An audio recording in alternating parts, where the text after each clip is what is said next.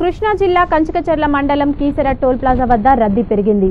పండుగ ముగించుకొని తిరిగి హైదరాబాద్ ప్రయాణమైన ప్రయాణికులతో వాహనాలు బారులు తీరాయి.